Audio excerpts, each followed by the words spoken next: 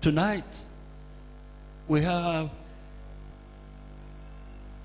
one of ours. The first time I listened to him, I knew that this man has met Christ. Fire begets fire. When you walk in the Spirit, you know men that are born of the Spirit. God has birthed on earth several movements. And every movement born by God, God has had his vessel that will champion such movements. And every movement that came upon the earth was fought against, resisted by men, but prevailed by the Holy Spirit. Hallelujah. We have had several movements. Some of us have walked in several of the movements. When I heard about holiness, revival movement, I knew this could be the last move of God upon the earth. You know why? The bride must be washed. She must be dressed before the bridegroom will take her.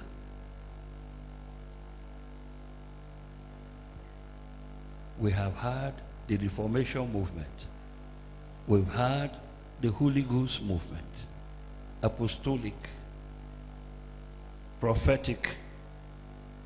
We've had the missions movement. Some of us have been in it and we're still in it. All of this is to preach the gospel. But the holiness movement is to wash, to cleanse, to prepare. Tonight we have Pastor Paul Rika here. Hallelujah. I didn't know we were going to have him. It was a week ago he came to this town, then came to the house and said, look, we have this program. Can you give us some time? And then we phoned later. He said he will come today. So we'll have him tonight. We'll have him tomorrow night. And he will go back to Abuja. Hallelujah. Pastor Paul Rika, you're welcome, sir. We can have you off the stage now.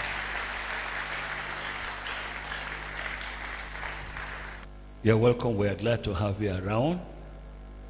We're so happy.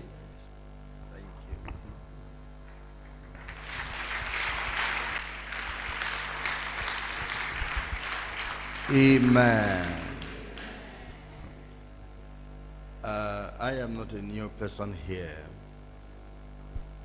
By the grace of God, uh, I would have said maybe I have been here five times. So I'm not new.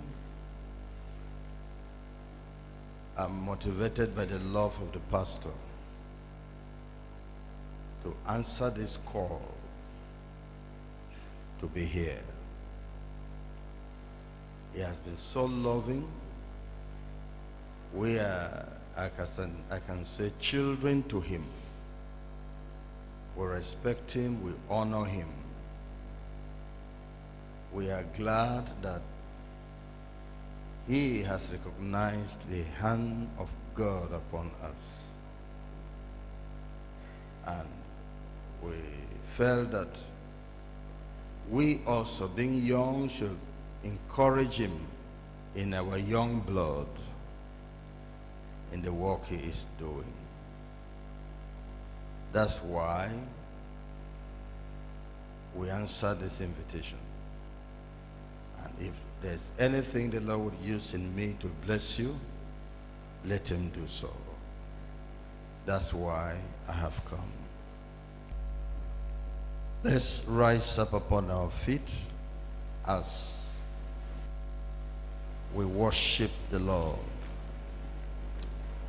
He has the whole world. He has the whole wide world. I say he has the whole world.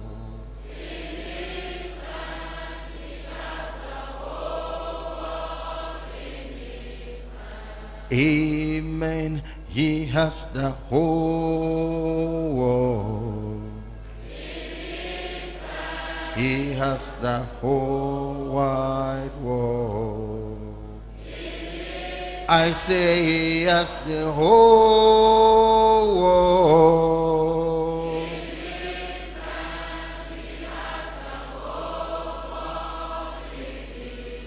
Heavenly Father, you are wonderful.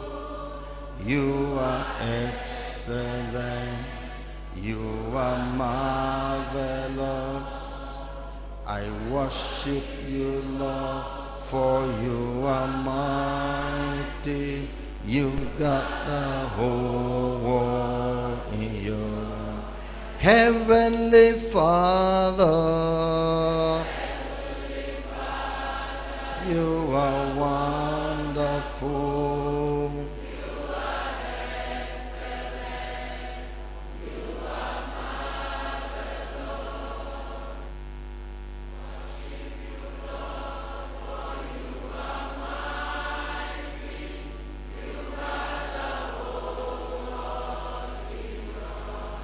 Heavenly Father,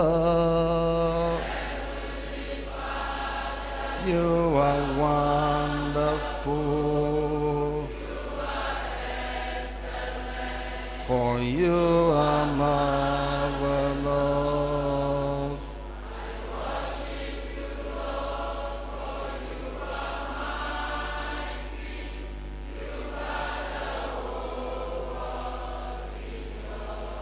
Heavenly Father, you are wonderful, you are excellent, you are marvelous. I say, I worship you, Lord, for you are mighty. You've got the whole You, you've got the whole world. You've got the whole wide world. You've got the whole world.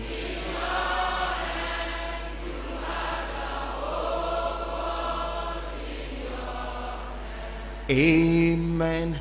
You've got the whole world. You've got the whole wide world. I say you've got the whole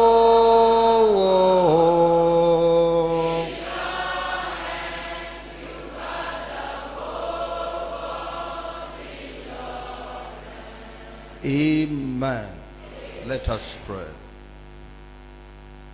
Almighty Father, we love you, the creator of our souls.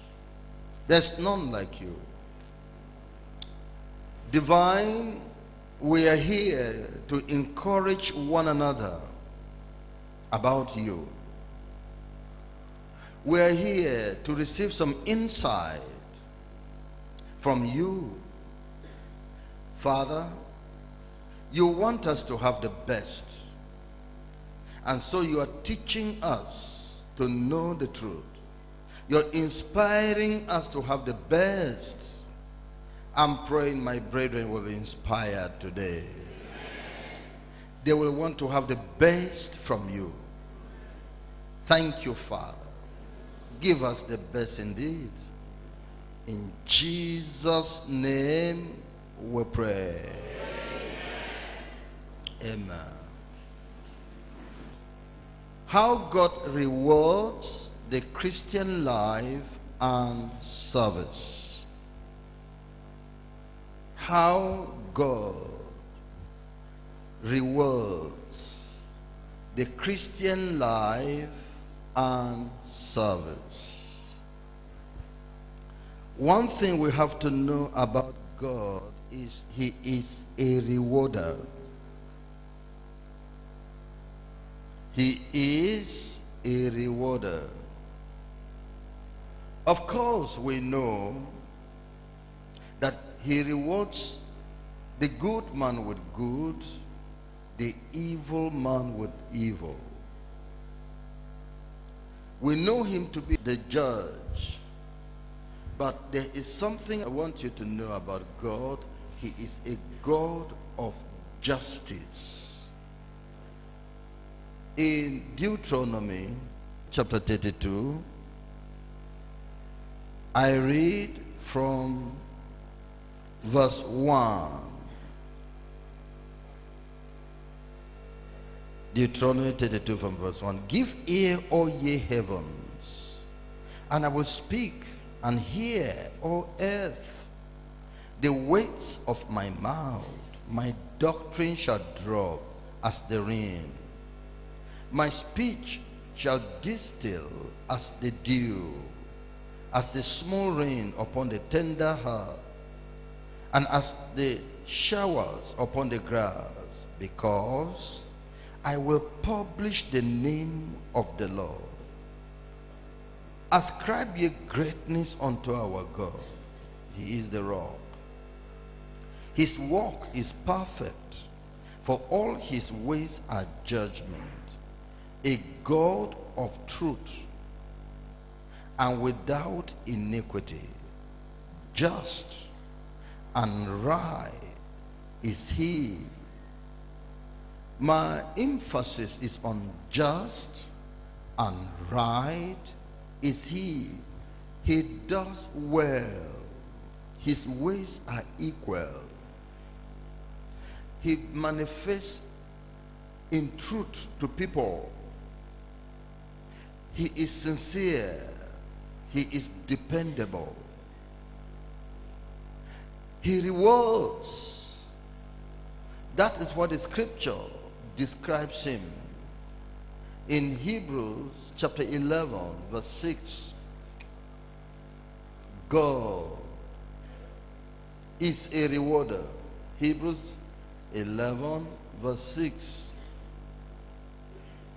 But without faith it is impossible to please him.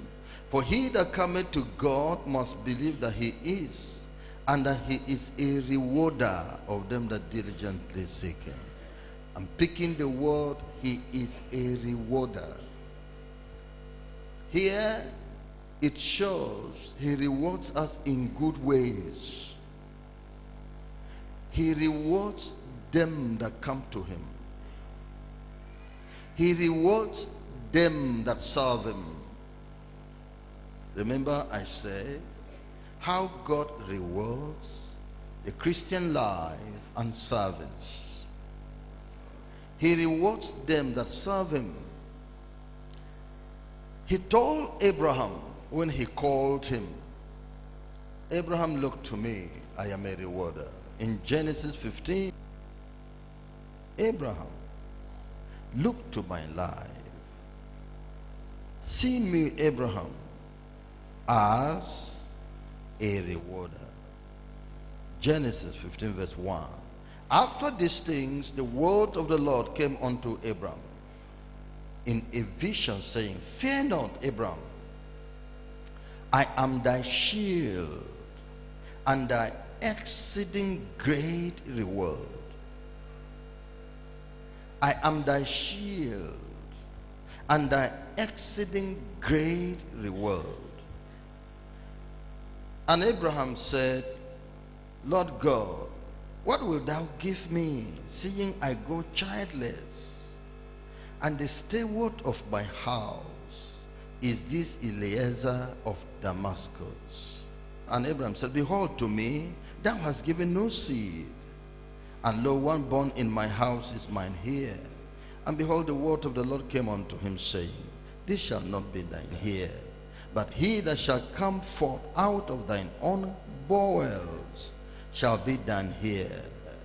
And he brought him forth abroad, and said, Look now toward heaven, and tell the stars, if thou be able to number them. And he said unto him, So shall thy seed be. And Abraham believed in the Lord, and he counted to him for righteousness. So you can see here that God rewarded Abraham because Abraham was serving him. He rewarded him by giving him a child. He's a rewarder.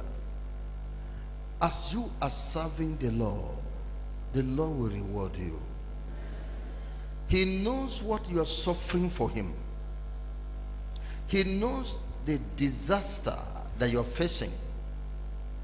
He knows that you have forsaken all to follow him. Peter said it, Lord, we have forsaken all and we are following you. What shall we have? He assured Peter, you will be rewarded. All of you that have forsaken wife, children, houses, lands, whatever, you shall have it a hundredfold. So the Lord will reward you. This suffering, He knows how you are being abused. In fact, you suffer want. You suffer persecution. You have abandoned the world for the cause of Christ. See your qualification. You could have been in any position anyone is now. You would have been there too. But you ignored it for kingdom service, for kingdom war. The Lord is happy and will reward you. And I pray he will remember you. In the book of Psalm 20, Psalm 20, I read from verse 1. The Bible tells us, saying, The Lord hear thee in the day of trouble. The name of the God of Jacob defend you. Send you help from the sanctuary and strengthen you out of Zion. The Lord remember all your offerings and accept your burnt sacrifice. The Lord grant thee according to thine own heart and fulfill all thy counsels. Amen. Can you see the Lord remember your offering and your burnt sacrifice? What you have given out totally for him. How you burnt up yourself for him. For his service. May the Lord remember it over your life. That is the God that we are serving. As for women, your husband has been busy for the Lord. And uh, you're not enjoying what the other women in the world are enjoying. Because your husband is over there. It's not bringing in much money. It's not. So you're not having it plenty. Children suffer. Because, oh, yeah, what is daddy doing? He's a pastor. Where is he pastoring? He's pastoring in Hill. He's pastoring in this place. He's pastoring in that place. They scarcely even see him. The contribution to the house is small. The Lord remember you in Jesus' name. So, now, having told you our God is a rewarder, I want to tell you the three kinds of reward. I say how God rewards the Christian life and service. I will tell you about the three kinds of rewards Christians enjoy, receive from God. The three kinds of reward. I stressed the Christian life and then the Christian service. Can you repeat that? The Christian life and the Christian service. Say it again. Thank you. I will open your eyes today to how God rewards this. Amen? It's. He can reward them together. He can reward them separately. He can reward these two on your life together. He can reward you only on one and you may not have the other. That's it. Which means God can give you reward for the Christian life. God can also give you reward for the Christian service, but may not give you reward for the Christian life. You may enjoy reward for the Christian service, which you are serving, but may not receive reward for the Christian life because the two are different. The Christian life, the Christian service. The two are different. The Christian life, the main reward of the Christian life is heaven. The main reward of the Christian life is heaven the rewards of the Christian service now are both earthly and heavenly.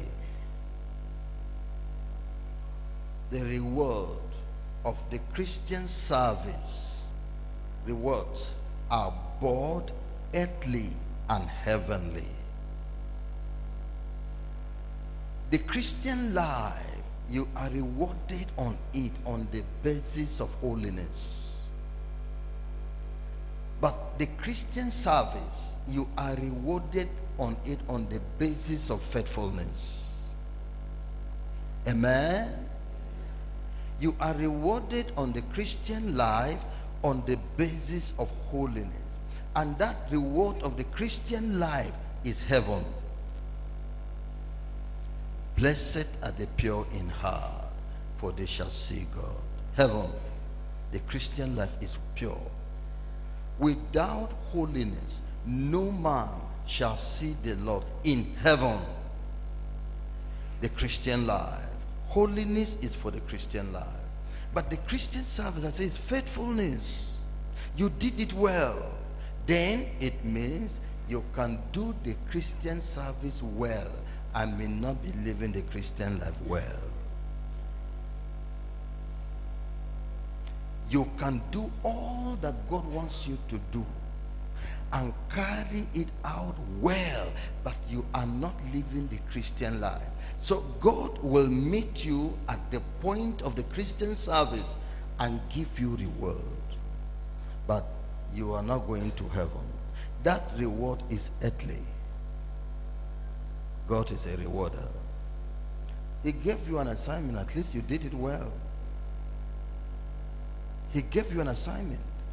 You did it well. So you should be rewarded. You are faithful.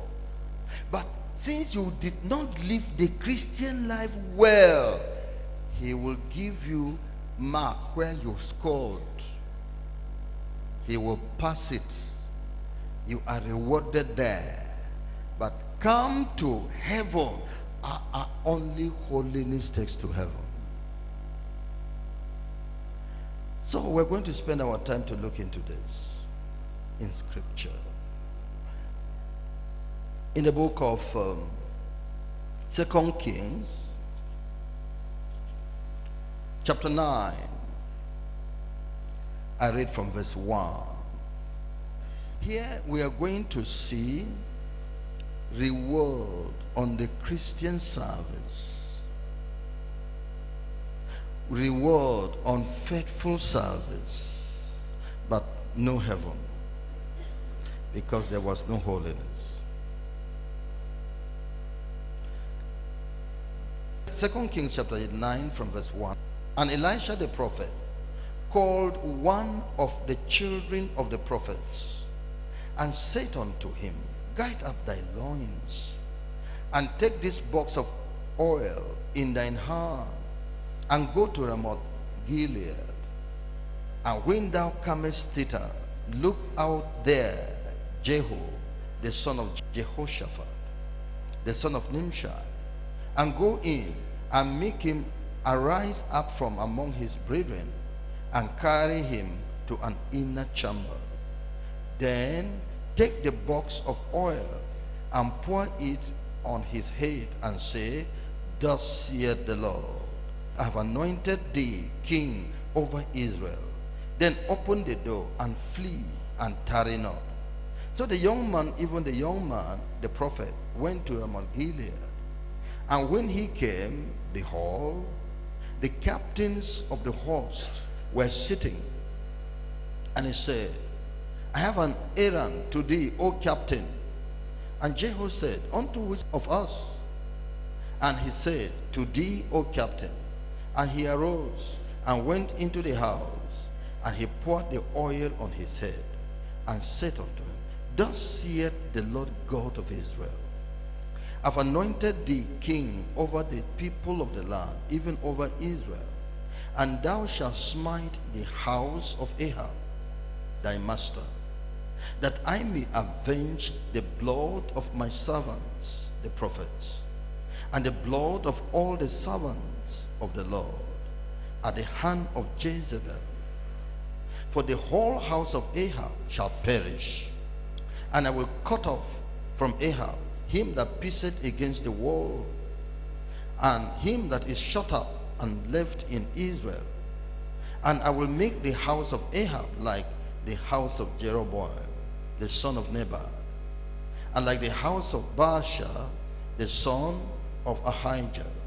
And the dogs shall eat Jezebel in the portion of Jezreel, and there shall be none to bury her. And he opened the door and fled. Then Jehu came forth to the servants of his Lord. And one said unto him, Is all well? Wherefore came this mad fellow to thee? And he said unto them, Ye knew the man and his communication. And they said, It is false. Tell us now. And he said, Thus and thus spake he to me, saying, Thus saith the Lord, I've anointed the king over Israel. Then they hasted and took every man his garment and put it under him on the top of the stairs and blew with trumpets, saying, Jehu is king. So here you see divine call. Was Jehu called by God? Yes. God called him. God called Jehu. Here you see divine anointing. Was Jehu anointed? Yes, he was anointed. The Spirit of God used him. Here you see divine commission. What was Jehu called to do? Clear, destroy all the house of Ahab, clear out Jezebel and her children. All things that pertain to Ahab, clear it away. I'm saying this because you could have received this commission. Divine call. Your vision was clear. God sent an angel and gave you this commission.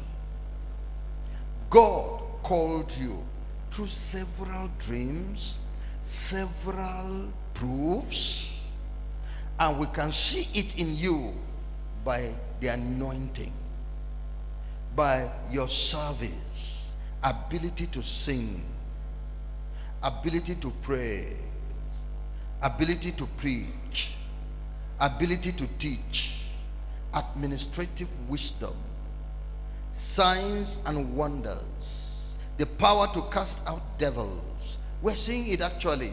And it's original. It's not feigned. It's original. Mm. Brother, divine call is different from holiness. Divine call on you is different from holiness. Holiness is mandated on every person that wants to go to heaven, but are all called. The calling is not for everybody. The calling is specific. The commission, the commission you have received, others have not received it. Others have not received it. But for heaven, the instruction is that be ye holy, for I am holy. Without holiness, no man shall see the Lord. Know this so that when you are succeeding in ministry, you should know that that does not mean you're going to heaven. Know it. That when people are praising you, yeah, you're doing it. You are gifted. Your ministry is growing. The church is making progress in your hand. Don't be deceived. To think that you are going to heaven automatically. No. Going to heaven is not on ministry, it's on life. It's on life. Now, when Jehu received this commission, if you see the things that Jehu did, I think read chapter 9 and 10 to see the works of Jehu. How Jehu immediately went forth and killed the king Jehoram, one of the sons of Jezebel that was ruling at that time.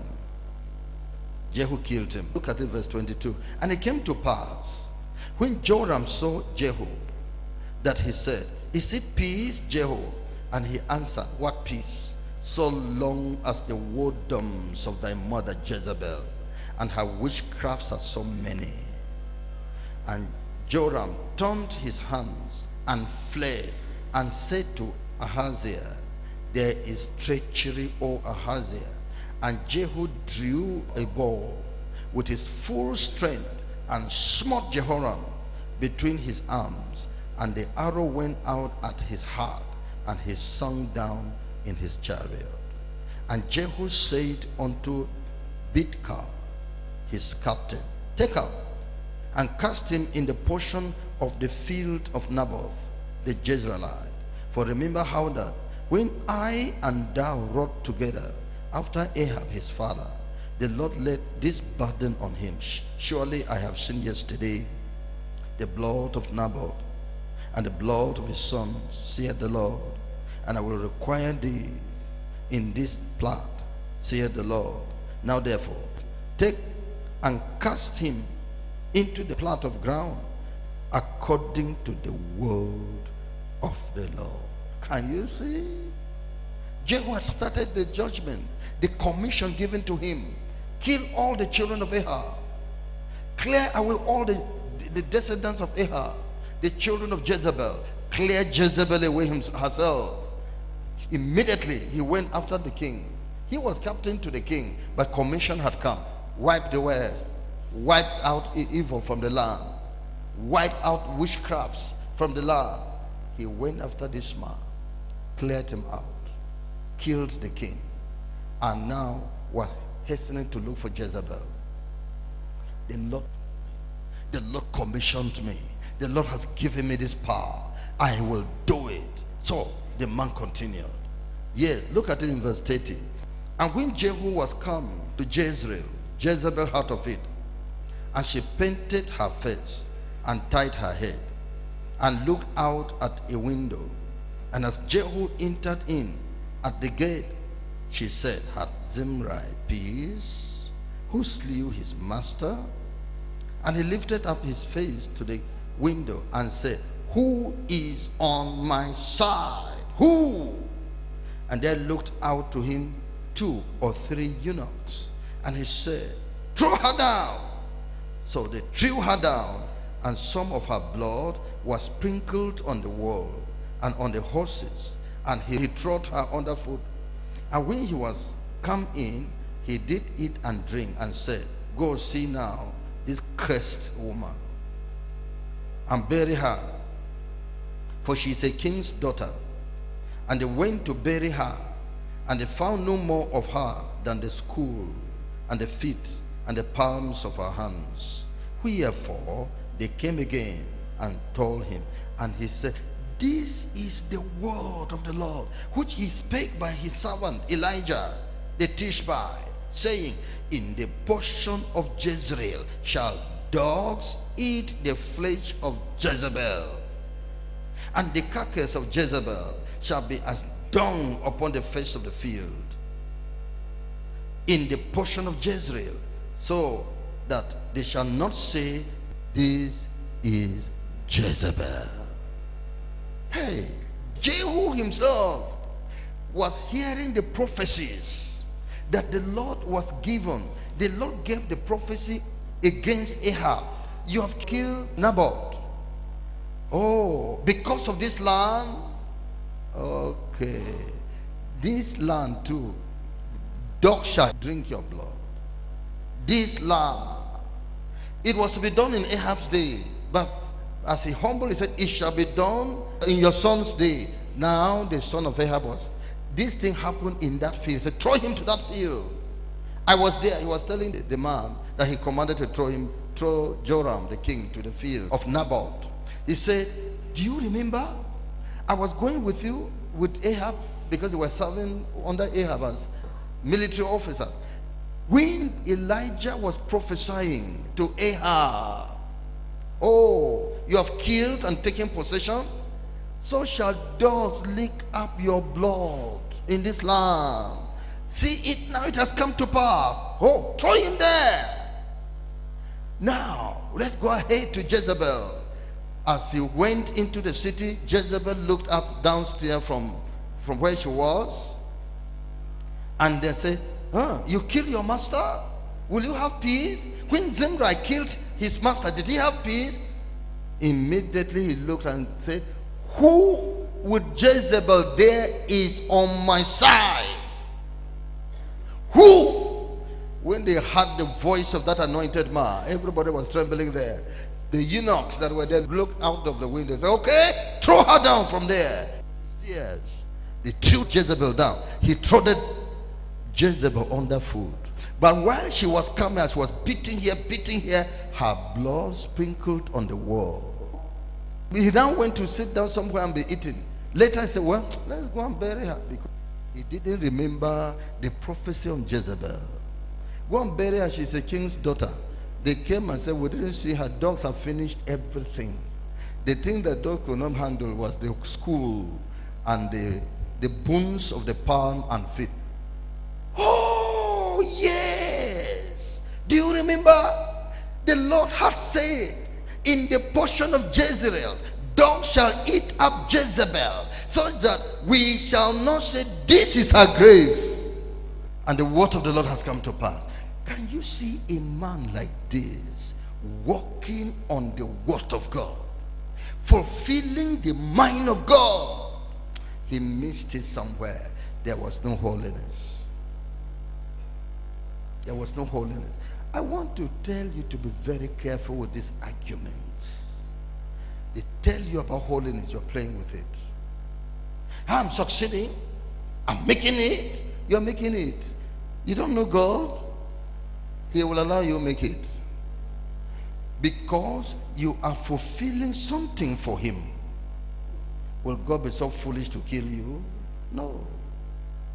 It's your choice. Whatever a man sows, that shall he also reap. I set before you heaven and the earth, blessing and cursing, life and death, good and evil. Choose. The choice is yours. To serve this God without holiness or to serve him with holiness, the choice is yours. You are disdaining the message of holiness. The, well, that's how they're doing it in the world. They don't bother and they're prospering. They don't know how wise God is, how loving God is.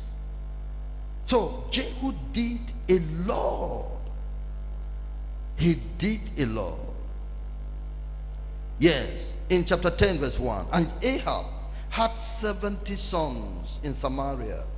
And Jehu wrote letters and sent to Samaria unto the rulers of Jezreel, to the elders, and to them that brought up Ahab's children, saying, Now, as soon as this letter cometh to you, seeing your master's sons are with you, and there are with you chariots and horses, a fenced city also, and armor. Look even out the best and meetest of your master's sons, and set him on his father's throne, and fight for your master's house.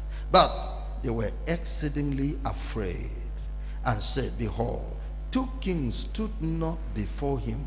How then shall we stand? Hmm, Get the story. I mean, this man was anointed. Holy Ghost, power. He was acting under commission, so God backed him up. God gave him authority. The voice of Jehu was a terrorizing voice. The letters of Jehu, anointed later. who could stand them? Ahab had 70 sons, and they were all in a particular city under some great men to train them. And Jehu wrote the elders of those cities. Your master's children are with you, 70 of them. Now, Jehu has come. God has commissioned Jehu. And Jehu is doing what the Lord has told him. I'm coming to that city. But since you love your master, choose one of them, one of those 70 that is good looking, strong, and make him king. Then fight for him against me, for I am coming. Then the people say, uh, two kings, because the king of Judah visited the king of Israel in Samaria. Two kings could not stand this man. Can we stand him? No. They replied, Jehu, we can't stand. Verse 5. Let's read from verse 4. But they were exceeding afraid and said, Behold, two kings could, could two kings stood not before him. How then shall we stand? And he that was over the house, and he that was over the city, the elders also, and the bringers up of the children, sent to Jehu, saying, We are thy servants, and will do all that thou shalt bid us. We will not make any king do thou that which is good in thine eyes. Then he wrote a letter the second time to them, saying, If ye be mine, and if ye will hearken unto my voice, take ye the heads of the men, your master's sons, and come to me to Jezreel by tomorrow this time.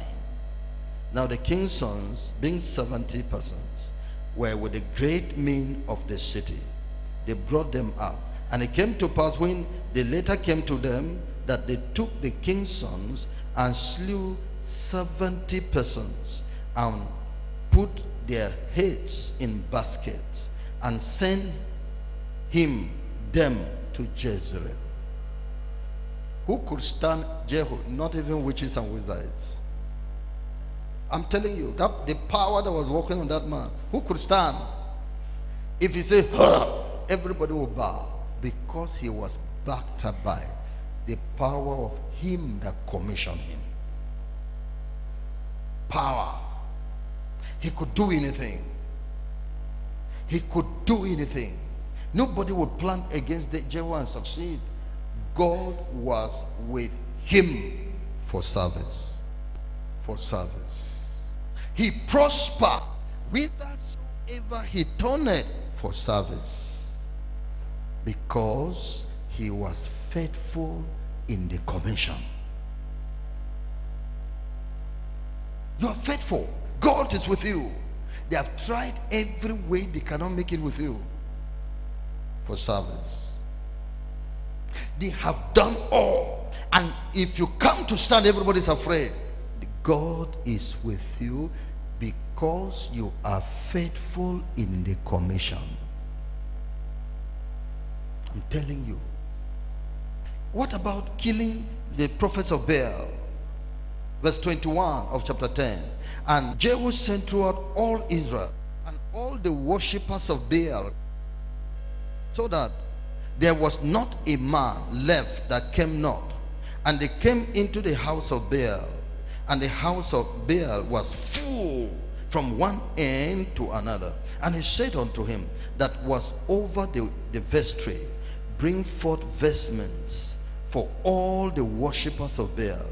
And he brought them forth vestments. And Jehu went and Jonadab, the son of Rechab, into the house of Baal and said unto the worshippers of Baal, Search and look that there be here with you none of the servants of the Lord, but the worshippers of Baal only. And when they went in to offer sacrifices and burnt offerings, Jehu appointed fourscore men without and said, If any of these men whom I have brought into the lands escape, he that letteth him go, his life shall be for the life of him. And it came to pass as soon as he had made an end of offering the burnt offering, that Jehu said to the guard and to the captain, Go in and slay them. Let none come forth. And they smote them with the edge of the sword. And the guard and the captain cast them out and went to the city of the house of Baal. And they brought forth the images of the house of Baal and buried them. And they break down the images of Baal and break down the house of Baal and made it a draught house unto this day. Verse 28. Let's read it. One, two, go. Thus Jehu destroyed Baal out of Israel. Commission accomplished. And God was with him. But do you know how Jehu did some of this thing? He employed lies as the part of the work. But it, it worked for him. He employed lies also as part of the work. Yes, look at it, verse 18 of chapter 10. And Jehu gathered all the people together and said unto them, Ahab served Baal a little. But what will Jehu do? Jehu shall serve him much. Now therefore, call unto me all the prophets of Baal, all his servants, and all his priests. Let none be wanting, for I have a great sacrifice to do to Baal. Whosoever shall be wanting, he shall not live. But Jehu did it in subtlety to the intent that he might destroy the worshippers of Baal. Is that what a righteous man should do? Whose lips true? The wisdom that is from above is first pure, and undefiled. But this man that didn't bother about holiness in his life can employ any method as long as he achieves what he wants to achieve. I'm talking about your life. Holiness is not part of it. You can tell lies in ministry. You can employ anything you want to employ. You can play politics, real, real politics. The type of politics that the Hausa man is doing, you can employ it in the church and achieve your um, aim. Commissioned. And you're achieving your aim. You're going.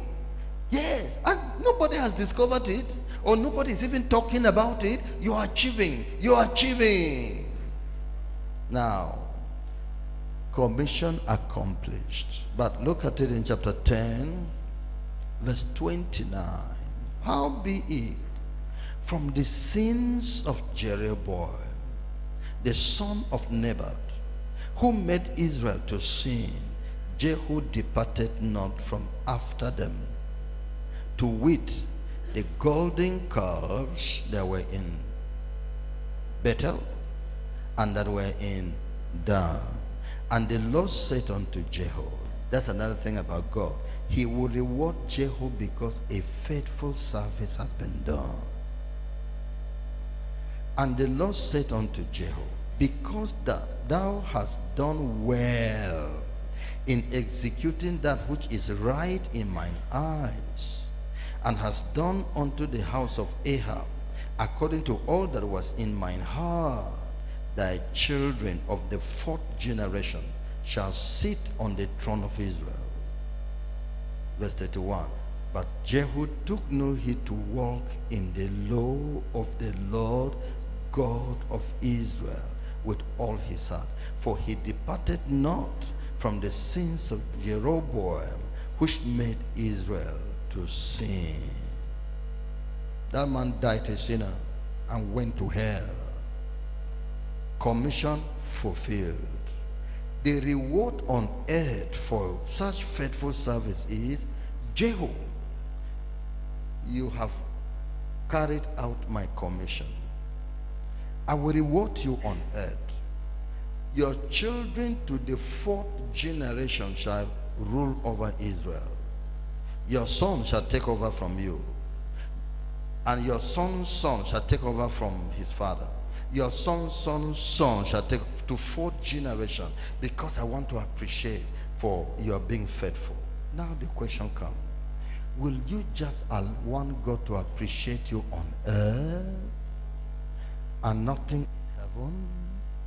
Will you want to eat what you are doing now just in this world? Nothing in heaven? The choice is yours. If you want to go beyond the earth as a minister, to receive crowns in heaven, ah, then bring holiness into your ministry if you want the church you are pastoring to enter heaven. And not just to be blessed on earth but to enter heaven. Bring holiness into the church. Otherwise all the blessing you're seeing now are enough. God cannot contradict himself. Without holiness no man shall see the lord in case we say, ah, but where do you find that again? That in the mouth two or three witnesses, such should be accomplished, established. Then let's go to uh, the book of Judges, chapter 15. Judges, this is talking about another greatly anointed man of God. His name is Samson. As for his story, you know very well. The Holy Spirit was upon Samson. Power and anointing was upon Samson. But Samson was an immoral man. A fornicator. A troublemaker. There was no justice in his life, but there was anointing. Nothing withstood him. Do you remember that time that Samson went into a particular city and slept with a harlot in that city? The people saw that Samson was here, so they waited for him at the gate because they wanted to kill him, the Philistines wanted to kill Samson. They closed the gate because there was no way Samson could, could open the gate and leave that city. Now, Samson knew what was the plan of the people. But anointing was there from the harlot. Anointing was still there. Solomon said, My wisdom was still with me. Please don't be confused of gifts. Don't be confused about anointing. Don't be confused of what you can do in service. The Lord wants me to open your eyes in this area that he, you only see him by holiness. But you can see his shadow because of commission, because of ministry. You will see his shadow. But for his real person, only holiness can see him. So, when Samson left the place, he died. He came to the gate and he just went to the the, the, the, the strength of the gate and move it. He moved the other one and removed them from their from their ground, from the ground, from the pillar, wherever they, they buried them. Removed them, plus the stones that were on top, and put them on his shoulder and was going his own way. Anointing. He was not descending to show that the power was working so much. He was climbing a mountain. he was climbing a mountain with heavy load. You know when a trailer is climbing hill. Some trailers don't make it. They start coming down. Samson was climbing a mountain as if he was descending a valley. Power. From the harlot's house. God was quiet because he had promised to deliver Israel from the Philistines. And this man that he commissioned him to do it is doing the work. But he's not holy.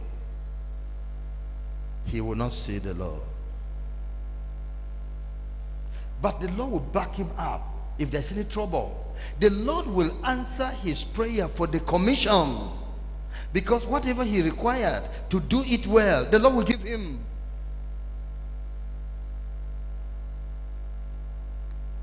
Judges chapter 15 from verse 14. And when he came unto Lehi, the Philistines shouted against him, and the Spirit of the Lord came mighty upon him.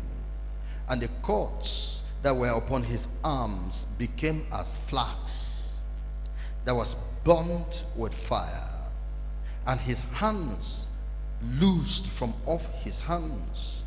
And he found a new jawbone of an ass, and put forth his hand, and took it, and slew a thousand men therewith.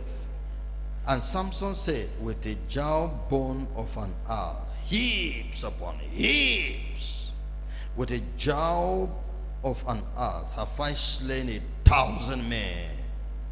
And it came to pass when he had made the end of speaking that he cast away the jawbone out of his hand and called that place Ramata, Ramath-lehi. And he was so athirst and called on the Lord and said, Thou hast given this great deliverance into the hand of thy servant, and now shall I die for thirst? and fall into the hand of the uncircumcised. But God cleft and hollow, and hollow place that was in the jaw. And there came water thereout.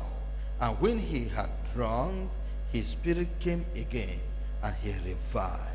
Wherefore, he called the name thereof in Hakkor, which is in Lehi, unto this day.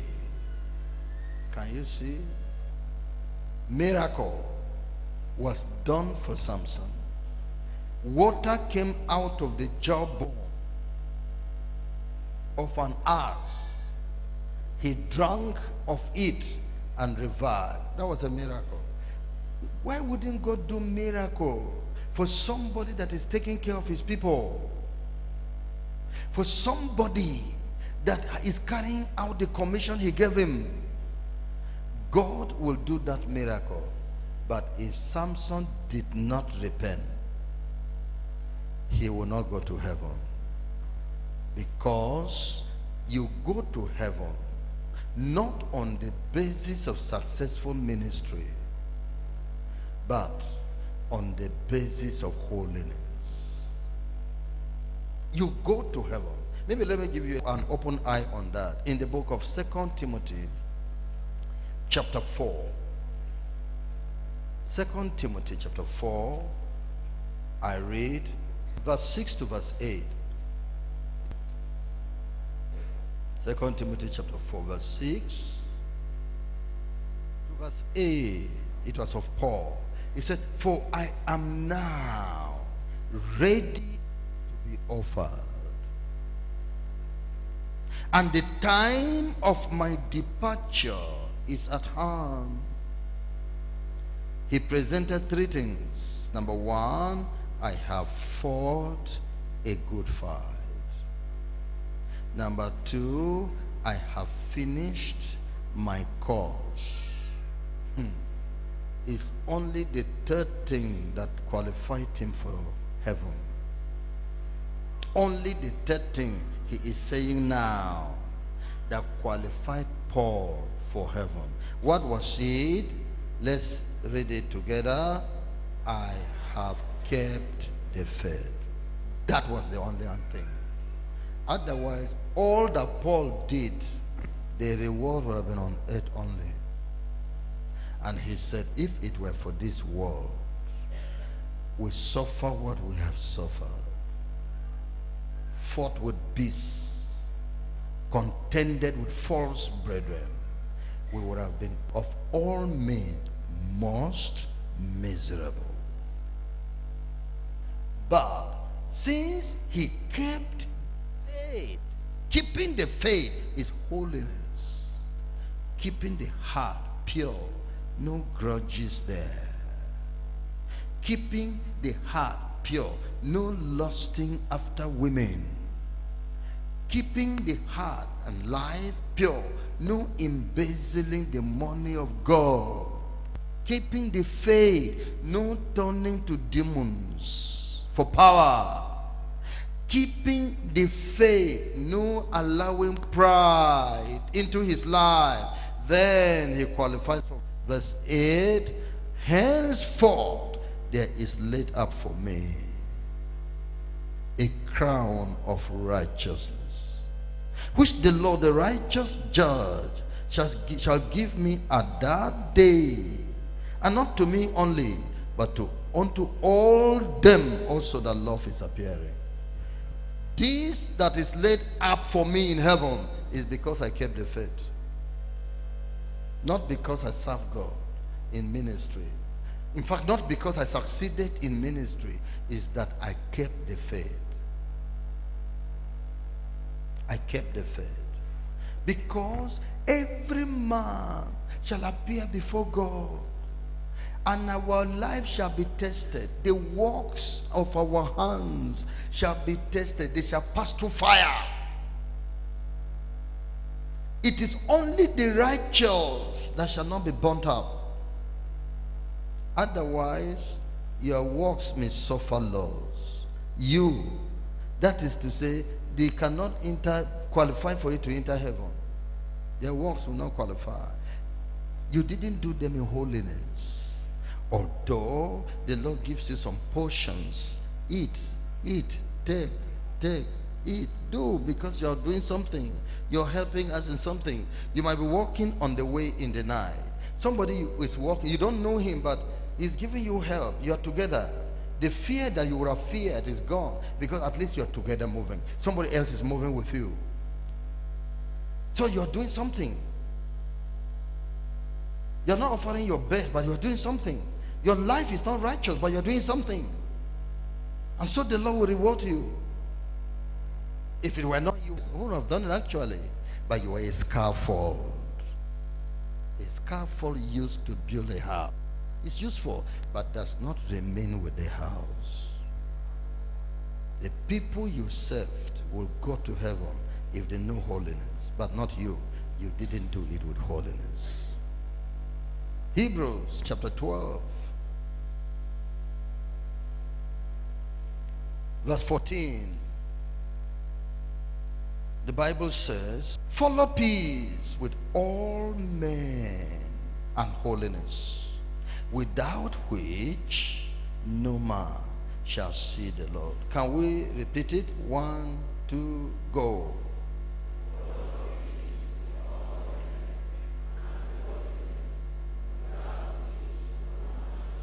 Say it a second time.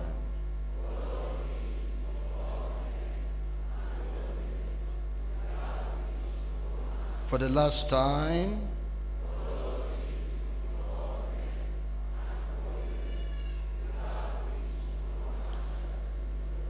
What is holiness? Second Corinthians chapter 7 verse 1 Having therefore these promises, dearly beloved, let us cleanse ourselves from all filthiness of the flesh and spirit, perfecting holiness in the fear of God. Holiness is cleaning yourself from deaths, spiritual deaths in your life. And these deaths could be in your heart, spirit. It could be in your flesh, body. Holiness is cleansing of the heart and of the body in the fear of God. The cleaning of the heart and of the body in the fear of God.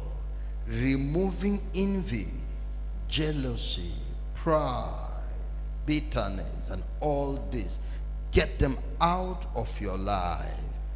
Removing lust, greed, these out, and have a pure heart. Come to your body, ungodly clothing, jewelry, palming, exposing dressing. All this. Get them out. They are filthiness, dirty in the sight of God. If you say, No, I don't, no, no, no, no, serve the Lord, you will be rewarded. But some people's reward are only on earth.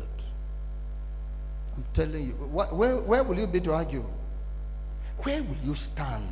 When we have left you in this earth, what, which place are you going to stand to argue? You will just argue with your foolishness. You will hate yourself. Because Paul said, Yes, I'm blessed on earth. But if it is only for this earth, all this service I am doing, just for the blessing of this earth, I'm a miserable person. And but if it must be the other world, ah, then holiness. Carry it along. Then you are sure that. Now, there are people too that are blessed on earth and in heaven. Let it not only be said, the righteous are blessed in heaven only. No. There are blessings also for the righteous on earth too. Proverbs chapter 11. Proverbs chapter 11, verse 31. Behold, the righteous shall be recompensed in the earth. Also on this earth your righteous works shall be recompensed, shall be blessed in this world. But not only in this world, but in heaven you shall have it double, double. In Mark chapter 10, Jesus showed that actually that's what the Lord de- desires of you. Righteous, God desires this, that you receive reward in heaven also. In verse 28 to verse 30 of chapter 10, Mark chapter 10, verse 28 to 30. Then Peter began to say unto him, Lord, we have left all and have followed thee. And Jesus answered and said, Verily I say unto you, there is no man that hath left house or brethren or sisters or father or mother or wife or children or lands for my sake and the gospels. But he shall receive an hundredfold now in this time houses and brethren and sisters and mothers and children and lands with persecutions and in the world to come what? Eternal life. Can you see? The, i told you these blessings are separated into two earthly but earthly and heavenly. God is saying have these two on yourself. Have these two as you are serving the lord remember to serve with holiness so that you can have these two blessings in this earth and in the world to come. In all your service, some of you go to borrow money and never pay. You know that's wickedness? The wicked borrow it and pay it not again. You are young, unmarried, and you go about committing immorality in the village. Do you know what you're doing? You're suffering there actually. I'm going to Command Hill. I'm going to this. We're in this jungle where people don't wear clothes. But you're committing immorality. See what great work you're doing. Rain is falling upon you. You're planting churches. You're doing this. You commit immorality. What is that for? Do this service and remember heaven. And if heaven is in your goal, holiness, do the service with holiness. So that you too can go to heaven. See the promise of heaven here. The Lord will give you heaven. I said, The Lord will give you heaven. He will still bless you upon the earth. He blesses men of God. Abraham was rich. So rich that when the king of Sodom wanted to add something, he said, No, I have enough. Let it not be said that the king of Sodom gave riches to Abraham. I have enough. I have enough. He was rich. Isaac sold, and the Lord gave him a hundredfold. God bless him upon the earth. But these people in heaven. We have a place called Abraham's bosom.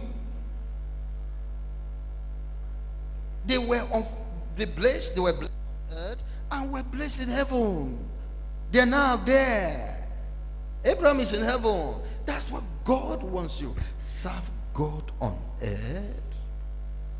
Be blessed on earth. Be blessed in heaven also.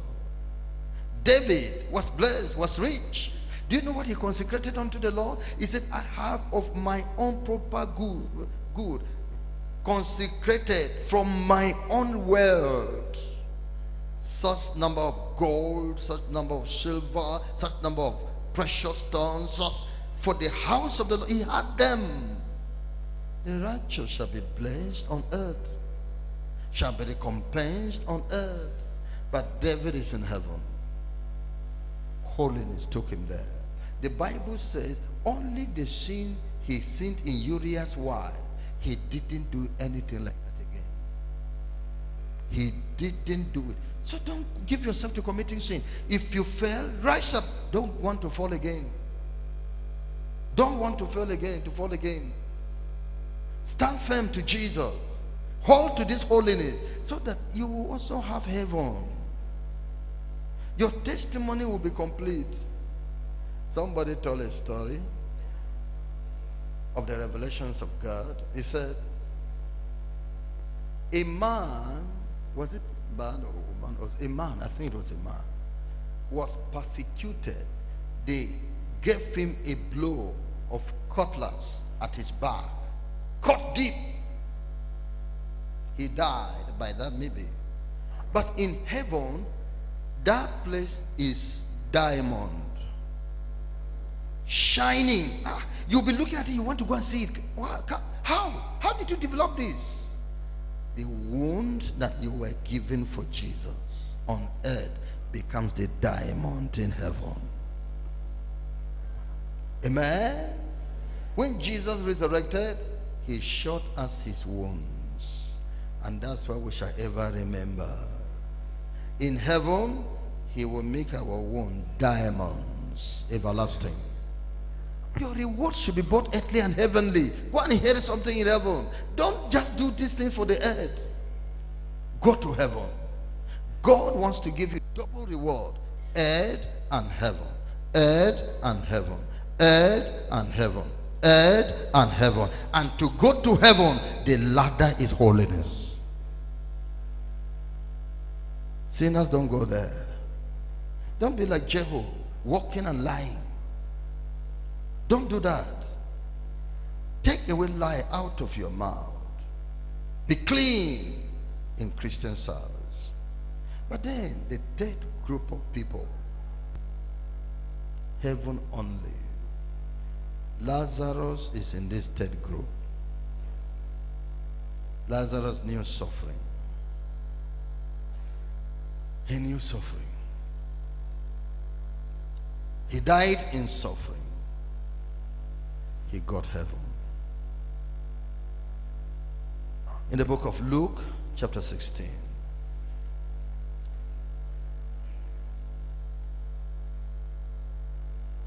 Luke chapter 16.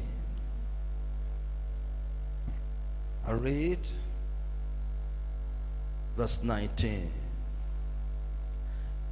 There was a certain rich man which was clothed in purple and fine linen and fared sumptuously every day.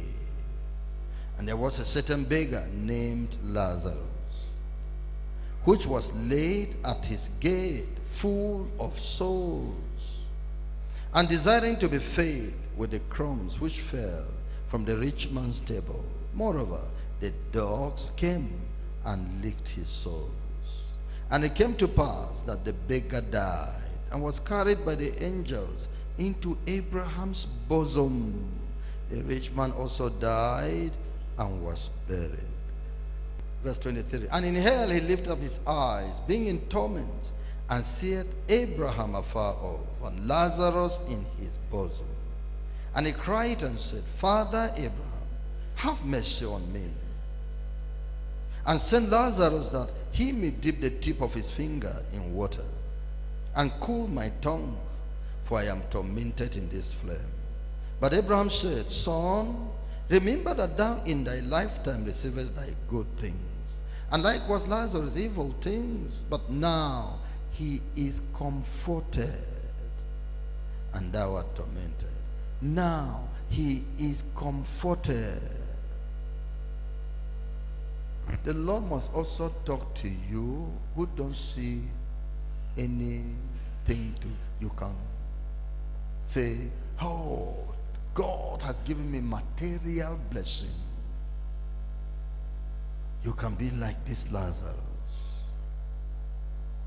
And for such one, the Lord is saying in John chapter 14, verse 1 to 3, John 14, 1 to 3, let not your heart be troubled. Ye believe in God, believe also in me. In my father's house are many mansions. If it were not so, I would have told you, I go to prepare a place for you. And if I go and prepare a place for you, I will come again and receive you unto myself, that where I am, there ye may be also. Be comforted. You have not seen any material thing. You have not built a house of yourself. You have not bought a car. You don't have a motorcycle. You are living in a single room. Serve your God. Maintain holiness. The Lord says he has prepared a place for you. You will be rewarded. Lazarus, Lazarus died a beggar.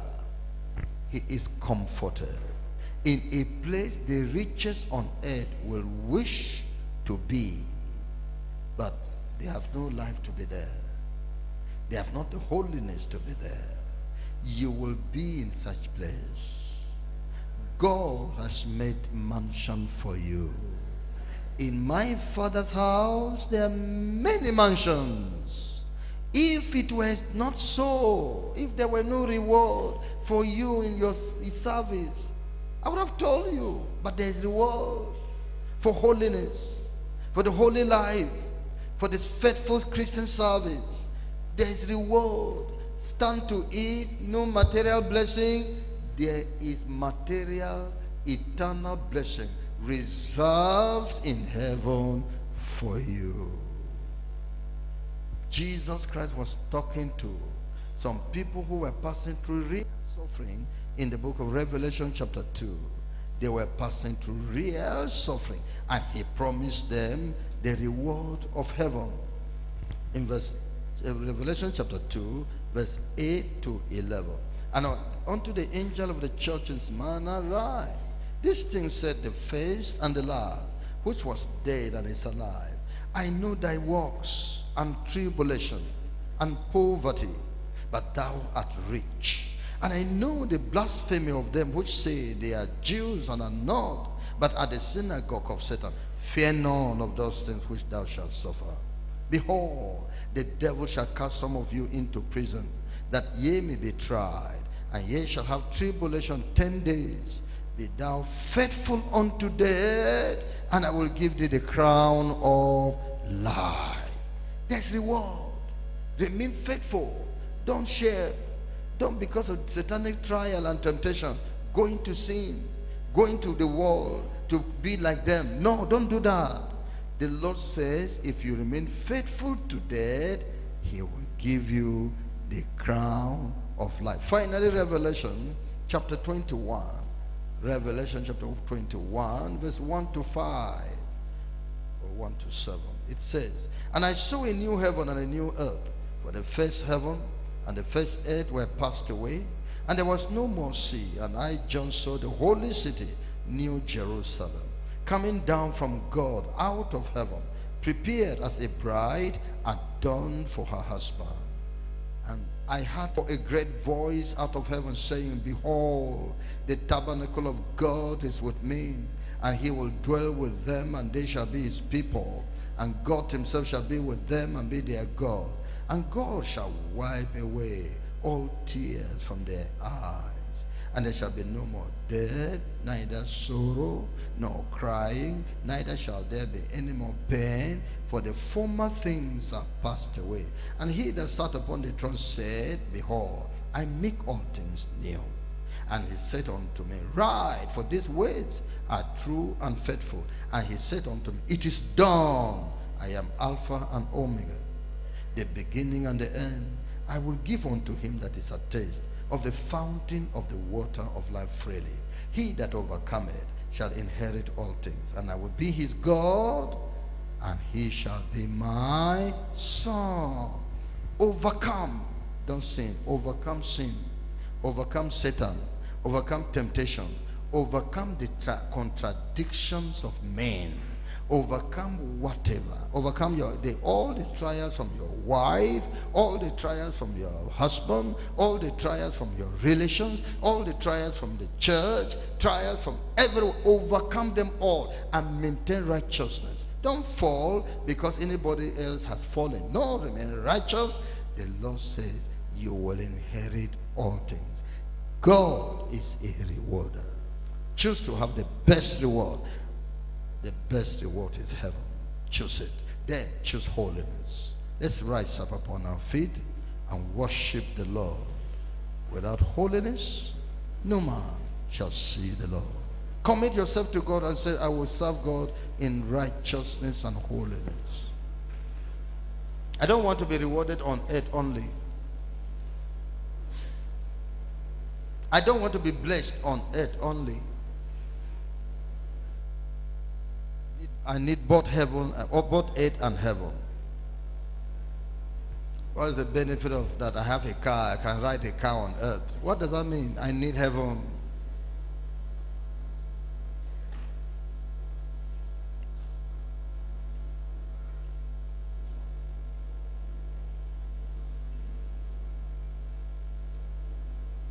Confess every sin in your life that is spoiling this precious life that God has given you. This wonderful ministry that God has given you.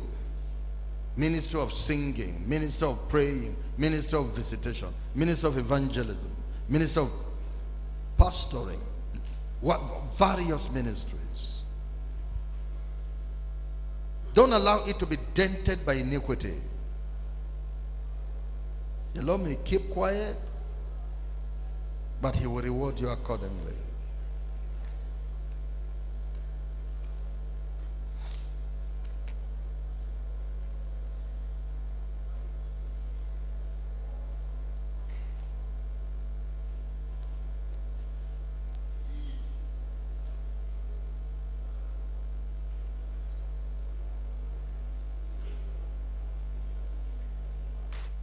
Jesus' name we pray.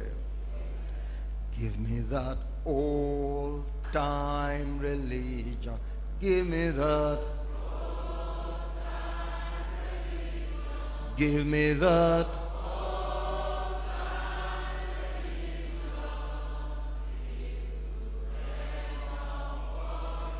Father, give me that. Jesus, give me that. I need that.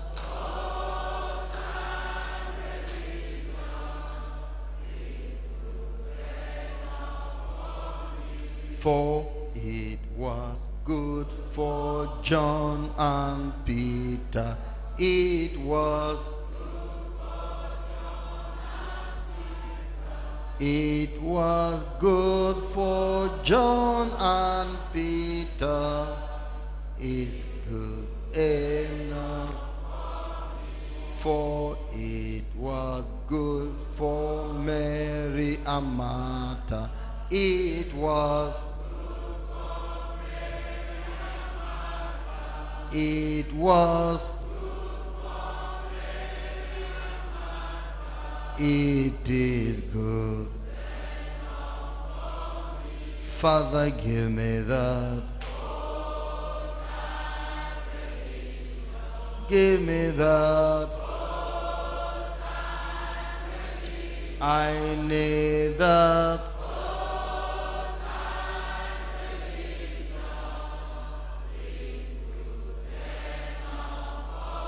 Now go and tell the Lord about that. The people who serve God in all time, they served him in righteousness and holiness. Now they're in heaven. Tell God you want to follow after their pattern. You want to follow after their pattern. Why should you be rewarded on earth only? Why should you be rewarded on earth only?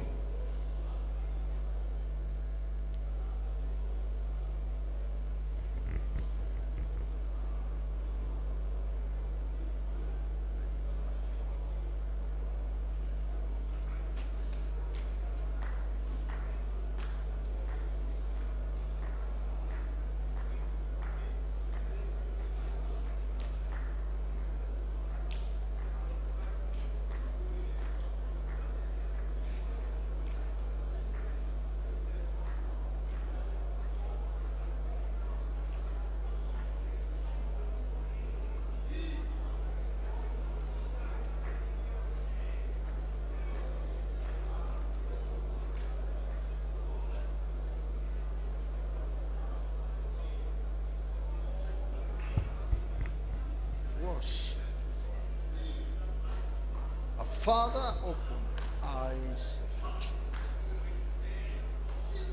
to serve you, to look for it, O Lord. Look for holiness. Look for holiness to go to heaven.